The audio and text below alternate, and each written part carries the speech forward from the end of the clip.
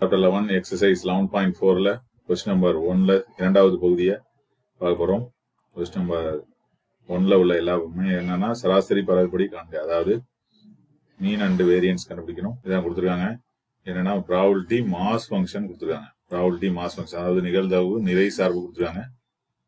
அதுக்கு நம்ம சராசரி பரவல்படி கண்டுபிடிக்கணும். ப்ராபிலிட்டி மாஸ் ஃபங்க்ஷனா எஃப்ஆஃப் எக்ஸ் எக்ஸோட வேல்யூ வந்து ஒன் டூ த்ரீ அவ்வளோதான் கொடுக்குறாங்க இந்த வேல்யூ எடுத்து இதில் சப்ஸ்ட் பண்ணி நம்ம என்ன பண்ணிக்கலாம்? எஃப் கண்டுபிடிச்சிட்டு அதுக்கு சராசரி வரையறுப்படி கண்டுபிடிச்சா போதுமானது. இந்த டேபிள் உடையத்தில் போட்டோம்னா நமக்கு கொஞ்சம் ஈஸியாக இருக்கும். அதனால் நம்ம டேபிள் உடையத்தில் ஃபஸ்ட்டு மாற்றுவதற்கு தெரிஞ்சுக்குவோம். அதுக்கு முன்னாடி ஃபார்முலா என்னன்னு தெரிஞ்சுக்குவோம். ஃபார்முலா என்ன?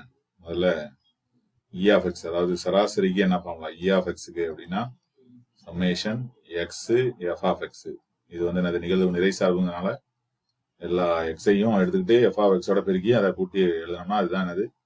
சராசரி இ ஆஃப் எக்ஸ் அப்படிங்கிறது அதாவது மீன் அடுத்து என்ன கண்டுபிடிக்கணும்? இ ஆஃப் எக்ஸ் ஸ்கொயர் கண்டுபிடிக்கணும்.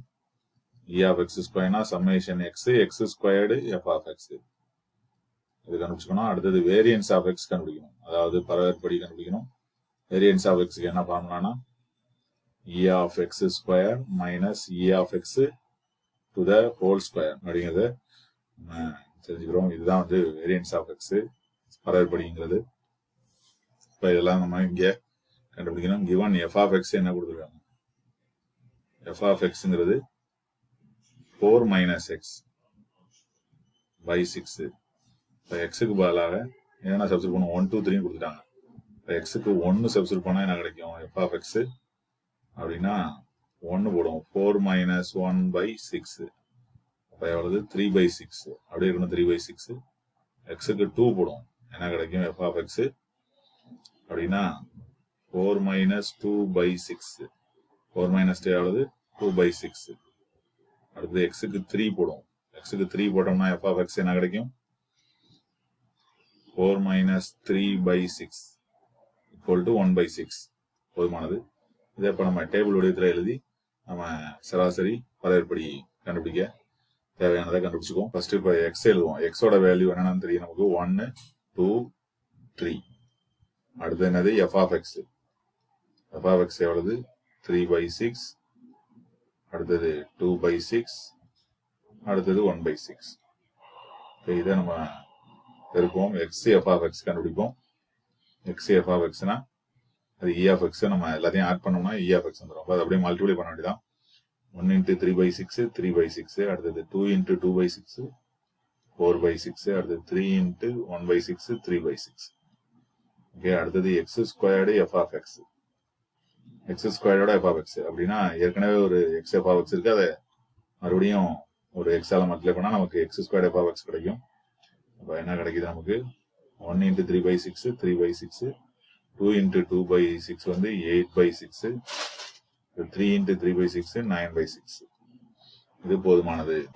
தேவையானது எல்லாத்தையும் கண்டுபிடிச்சாச்சு. இப்போ நம்ம இ ஆஃப் எக்ஸ் கண்டுபிடிப்போம். E இ ஆஃப் எக்ஸ்க்கு என்ன formula summation x f of எல்லா எக்ஸோட வேல்யூவையும் எஃப் ஆஃப் எக்ஸோட மல்டிப்ளை பண்ணி ஆட் பண்ண வேண்டியதான் அது பார்த்தாலே தெரியுது எல்லாத்தையும் ஆட் பண்ண வேண்டியதான் எங்க? இந்த செகண்டு நம்ம மல்டிப்ளை பண்ணி வச்சிருக்க இதுல ஃபர்ஸ்ட்ல உள்ளது. எஃப் எக்ஸ் எஃப் எக்ஸ் நம்ம எல்லாத்தையும் ஆட் பண்றோம். அப்போ என்ன கிடைக்கும்? த்ரீ பை சிக்ஸ் அடுத்தது ஃபோர் பை சிக்ஸ் அப்புறம் மறுபடியும் ஒரு த்ரீ பை சிக்ஸ் எல்லாத்தையும் ஆட் பண்ண எவ்வளவு? டென் பை சிக்ஸ் ஆமா டிவைட் பைல சிக்ஸ் இருக்கிறதுனால எல்லாத்தையும் நம்ம அதுக்காக தான் நம்ம வந்து கேன்சல் பண்ணல. செவன் டென் பை சிக்ஸ் அப்போ எப்படி எழுதலாம்? ஃபைவ் பை த்ரீ அப்படின்னு எழுதலாம் டூ டேபிள் அடிச்சோம்னா இது த்ரீ டைம்ஸ் இது ஃபைவ் அப்போ இ e ஆஃப் எக்ஸுங்கிறது எவ்வளவு? ஃபைவ் பை த்ரீ அதாவது சராசரிங்கிறது ஃபைவ் பை த்ரீ அப்படின்னு கிடைச்சிருது. அதாவது மீன் அப்படிங்கிறது ஃபைவ் பை த்ரீ அப்படின்னு கிடைச்சிட்டு அடுத்தது இ ஆஃப் எக்ஸ் ஸ்கொயர்டு கண்டுபிடிக்கும். இ ஆஃப் எக்ஸ் ஸ்கொயர்டுக்கு என்ன formula summation x x squared f of x six squared f of x எல்லாத்தையும் மல்டிபிளை பண்ணி வச்சிருக்கோம் அதை ஆட் பண்ண வேண்டியதான் இப்போ த்ரீ பை சிக்ஸு அதோட nine eight by six plus nine by six எல்லாத்தையும் ஆட் பண்ணோம்னா seventeen twenty by six twenty by six cancel பண்ணோம்னா டென் பை த்ரீ வந்துருது. இப்போ டென் பை த்ரீங்கிறது என்னது? இ ஆஃப் எக்ஸ் ஸ்கொயர் நம்ம என்ன கண்டுபிடிக்கணும்? வேரியன்ஸ் ஆஃப் எக்ஸ் இப்போ வேரியன்ஸ் ஆஃப் எக்ஸ் கண்டுபிடிக்கிறதுக்கு என்ன ஃபார்முலா உங்களுக்கு தெரியும் ஏற்கனவே எழுதி வச்சிருக்கோம் E of x square minus E of x to the whole square E of x square எவ்வளவு ten by three minus E of x to the whole square எவ்வளவு அப்படின்னா இ ஆஃப் எக்ஸ் வந்து five by three அப்போ five by three to the whole square இப்போ ten by three minus twenty five by three square nine எல்சியும் எடுப்போம் 9 எல்சியம் எடுத்தோம்னா இங்க ஒரு three three sir nine அப்போ மேலே ஒரு த்ரீ மல்டிப்ளை பண்ணால் thirty thirty minus twenty five அப்போ எவ்வளோ வருது? ஃபைவ் பை நைன் கிடைக்குது. இப்போ அப்படியே எழுதினாலும் கரெக்ட் தான். இருந்தாலும் இதை டிவைட் பண்ணி நம்ம ஆன்சர் போட்டுருவோம். டிவைட் பண்ணால் என்ன கிடைக்கும்? ஃபைவ்ல எத்தனை நைன் இருக்கு?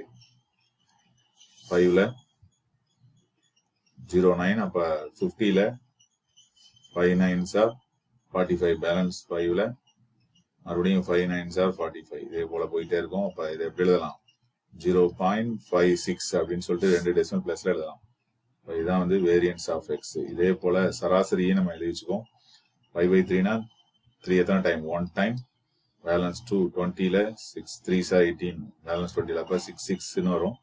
அதை எப்படி எழுதலாம் நம்ம? ஒன் பாயிண்ட் சிக்ஸ் செவன் எழுதலாம். இப்போ இதுலேருந்து நம்ம சராசரி மீன்ங்கிறது எவ்வளவு? ஒன் பாயிண்ட் சிக்ஸ் செவன் வரவேற்படி வேரியன்ஸ் ஆஃப் எக்ஸுங்கிறது எவ்வளவு ஜீரோ பாயிண்ட் ஃபைவ் சிக்ஸ் அப்படிங்கிறது கிடைச்சிருது. இதுதான் இந்த second part of the sum ஃபர்ஸ்ட்ல இந்த சம்மை பொறுத்த வரைக்கும் ரொம்ப ஈஸியாக நம்ம வேல்யூஸ் ஒன் டூ த்ரீன்னு கொடுத்துட்டாங்க. அதனால நம்ம அதை யூஸ் பண்ணி எஃப்ஆஃப்எக்ஸ் டேபிள் உடையத்தில் மாற்றி அதை எல்லாத்தையும் கண்டுபிடிச்சிட்டோம். அப்படின்னு நினைக்கிறேன்? தேங்க்ஸ் ஃபார் வாட்சிங்